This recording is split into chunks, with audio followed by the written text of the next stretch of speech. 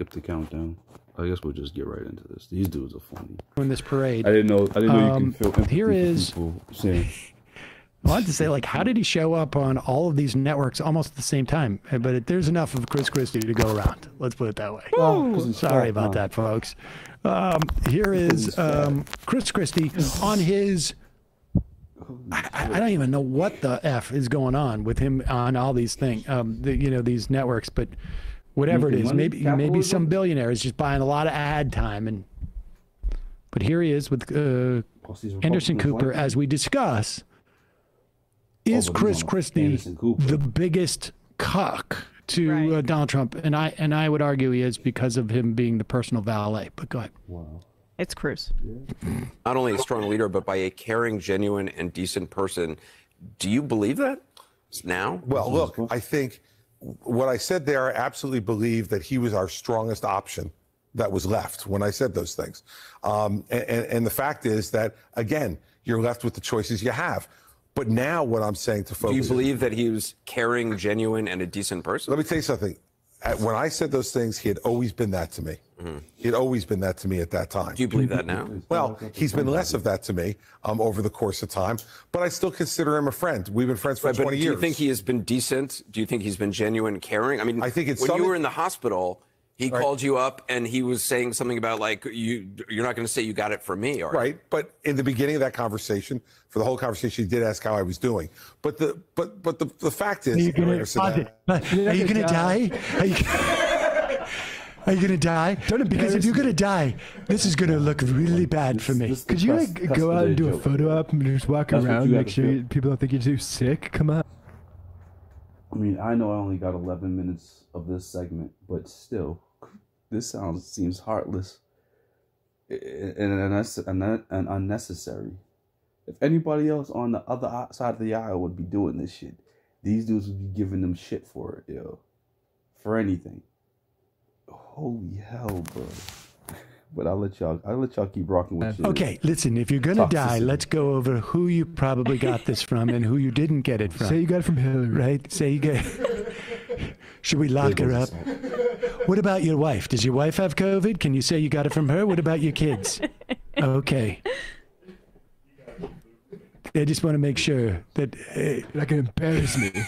Don't, But they be, you know, probably still making this dying joke would be super weak. died, bro. Just want you to know that. Not a great time if- right if now, this Chris. Christie guy Um, died.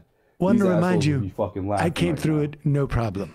So, you ask why you never got hired? This is why. Don't be so weak. Don't you dare blame me for your death. All right, go back. Uh, This is so. Uh, this is just. Don't you what? Oh, My me? God, how humiliating. Incidentally, For no who? one's going to buy your book. Who is it humiliating for? If he keeps saying it to the same people over and over, if he felt humiliated or felt some awkward way about it, I don't think he would keep doing it as you guys keep saying on every network, yo. He probably don't give two fucks. But whatever. I'll let you guys feel embarrassed for him. Empathy. To time, Everyone wanted but I still same consider him a friend. We've been friends for Right, but 20 do years. you think he has been decent? Do you think he's been genuine, caring? I mean, I think it's when you were in the Same shit to hospital, make him feel he right. called you up and he was saying something about only like you, you're We not going to say you got it photo from me, there. or right? But in the beginning of that enjoyable. conversation, for the whole conversation, he did ask how I was doing. But the but but the, the fact is, had. Anderson, that Chris, I know you're in a lot Oh, of pain right now, but can you just That's sign this piece of paper saying you got COVID from the Democrats and definitely not me? So No, this is how it's the call goes. How you doing? I'm okay. Okay, but you're not going to die. I'm a fluff- well, I Also, am a fluff I just want to so I don't know remind you, don't get it. according to my lawyer, your NDA is still in effect. So uh, you did not get it from me, right? Otherwise, we sue you. How are you doing now? it just keeps checking in during the course of the conversation. I'm great. I didn't get COVID from you. Oh, so it sounds like you're doing well. Okay, good. Well, yeah, because my COVID wasn't even that bad. So Basically like a flu. I mean, I got over my COVID, so if you die, probably it a different it is. COVID. definitely different. died COVID. from the flu. Couldn't be the same How because died from the mine flu each didn't kill me, and yours got killed You. My you. fault. It only kills it's just a you because you are not in the most now- amazing shape now that I'm in. You should go out and tell people you it? wish you got COVID from me, so you didn't get it from somebody who sort of got the you worst one. You would have gotten the better COVID, just- where you're actually bad for you. feeling It better like, than you did before. Where I fought it halfway over for you before giving it to you. I felt after my COVID, I felt better than I ever had. So if you're feeling worse, probably different COVID. You COVID. probably did not get the presidential COVID, Trump COVID. And if you did get my COVID, you're welcome. Okay. Ha, Like like, antibodies. my God. So he's running for president then, or he's trying to see if there's an appetite for it. Somebody wants him to. Or, or, here's my theory. He is about to promote a new crypto that actually is generated by humiliation. Oh yeah. So right. he's going out there, and every time he goes on to one of these little bit of shows and he humiliates wants to make some himself, money. It's de- it's fueling the processing power to create value in his crypto. Yeah, that's a lot more environmentally sound than traditional Holy crypto. so I appreciate bro. Christie being, you know, sustainable there. But um, the nigga ain't the got no thing about him bro. running, I just want to point this out. Like, if there is a billionaire bankrolling it, which I think you're actually right about I mean, that, it's got to be. it's got to be. Um, they want Trump aesthetics without be it being Trump. So it, Chris Christie can do Jersey tough talk uh, This is the cosplay, and and so that's what they think the value is, and that like it's Without a doubt. the contempt for the people that are voting for him. It's just Big seeps through all of these like financed efforts. Well, there's just a stupid, stupid boy. theory that is not uh, certainly not you know that is that is that is in no way This nigga from a Jersey, function yo. of party because you know that's why you get all these like uh, people who think like the, the the Lincoln Project has so much value that they that uh, you know what you need to take care of Donald Trump is somebody who's going to be like you know outbarb him in some way and it's just the stupidest People Fucking Nicki people don't know why Trump was Trump was first of all he could win GOP freaks better than any of the as well as any of those primary folks. But he's also a fixture of public culture like a a, a short like um All right, this is where these dudes do get real short-handed. Anything you could say about Trump, you could say about fucking anybody. Even fucking he, he, he, Sam here does it. Where he's like, oh, he's riding on the coattail. That's that's three things that you that people were identifying him with by her by her logic, not by yours, Sam, because you're you're not the only person in that room. So when they say that shit, you, you I mean, you can't say no wrong. You can be like, oh yeah, that's not what I'm talking about though. Oh yeah, that's not what I'm talking about. This dude's just like, no, wrong. this he is saying wrong, right? Let's let's let's, let's listen. Let's listen. synonymous with a rich guy. Mm, yeah. Right? He's all over cultures He's That's into it. rap like like right like you People like money. I don't understand why people like he did give off the illusion of being a big businessman, a good businessman. But if you was not a fucking silly American, you would remember that this dude's every one of these dudes' businesses fucking failed, bro. We won't lie. People were making money underneath his regime. I've I've asked. I've asked foreign people, people of immigrant descent, was like, yeah, I'm fucking making bank underneath this asshole. I don't care about this dude. He can say whatever the fuck he wants. He wants to throw fucking toilet paper at a fucking a, a state that's not even connected to this fucking continent. hey, he can do what he wants. I'm making bank.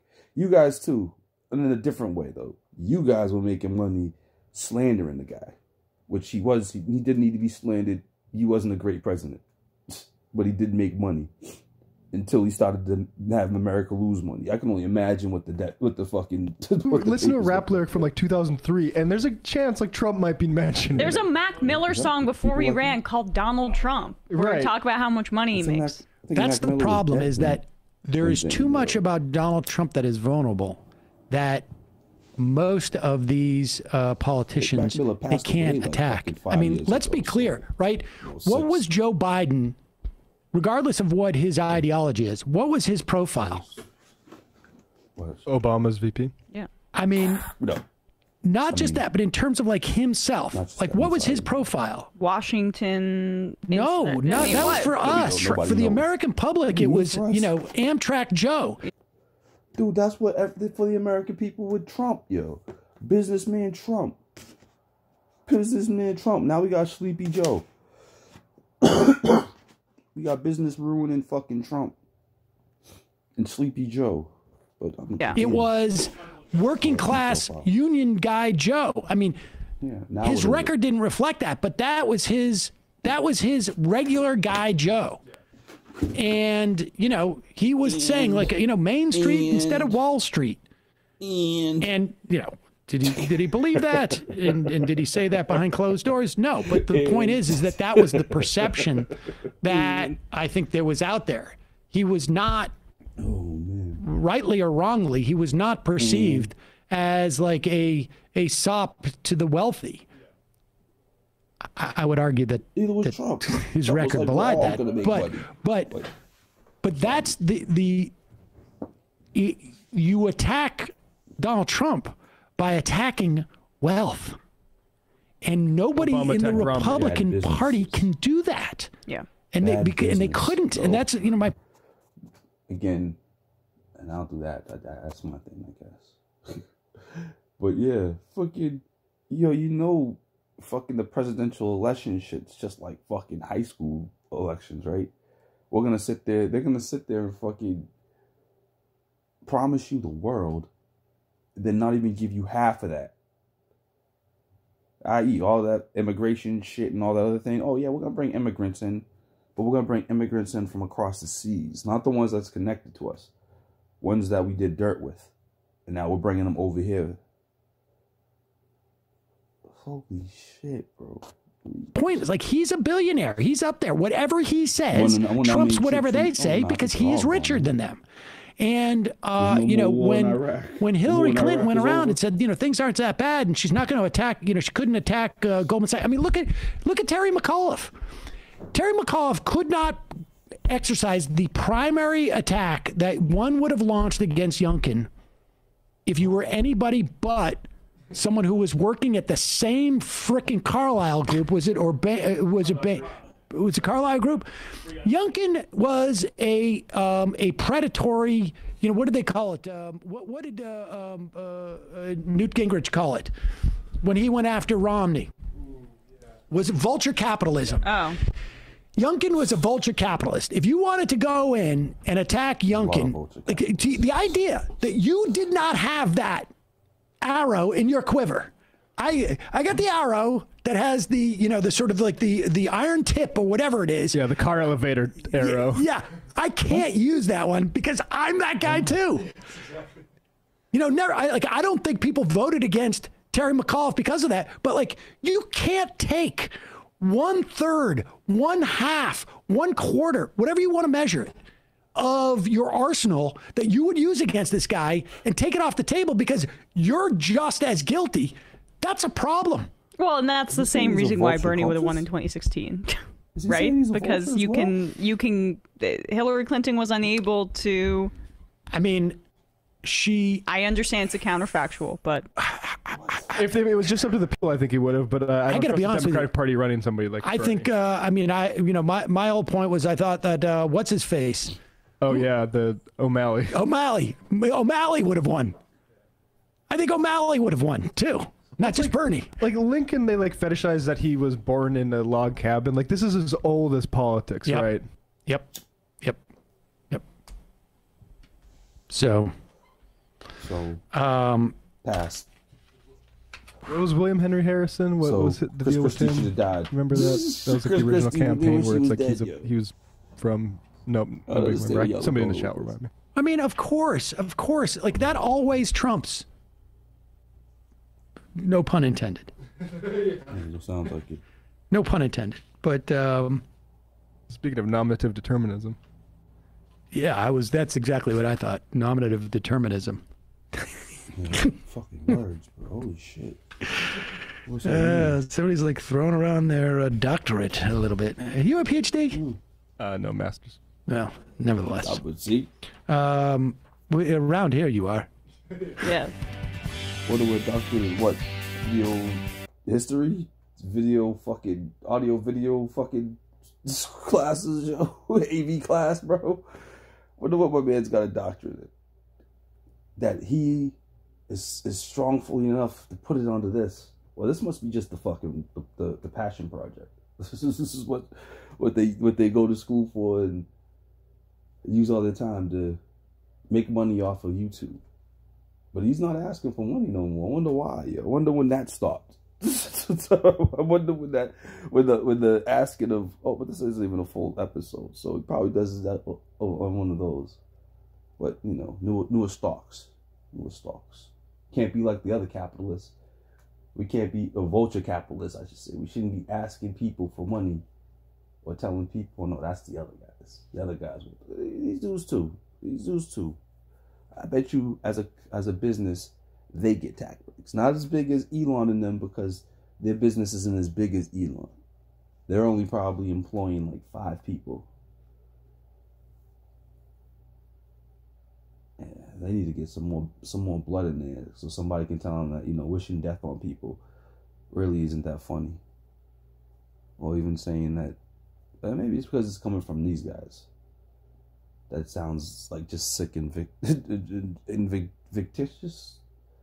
It's really vicious. It is vicious. Vindictive. There we go. just sounds vindictive for no good reason. Oh, man. He good.